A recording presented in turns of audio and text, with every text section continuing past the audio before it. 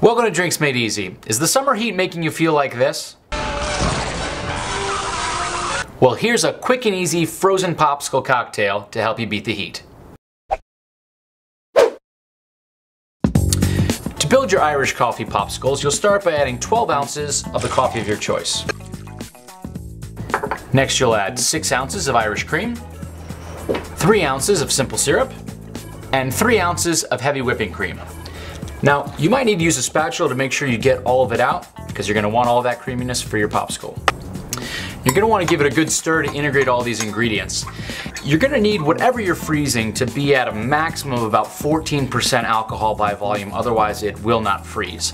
Now this one is at about 4.25% or kind of like a light beer, and if you're feeling like you want it to be a little bit more punchy, you can always add a little bit more Irish cream or even a little bit of whiskey, but be careful that you don't go above that 14% threshold for it to be able to freeze pretty easily.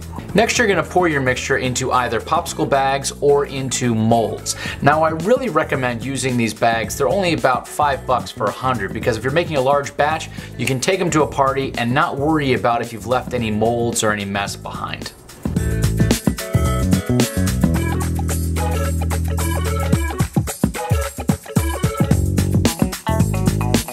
And there you have it. After about four to six hours, your Irish coffee popsicle is ready to go. You can even break these up and serve them in a bowl if you'd like.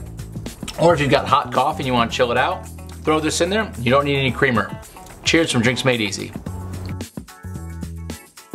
And please remember to always drink responsibly because everybody likes to make friends. But no one likes to make them in a prison shower.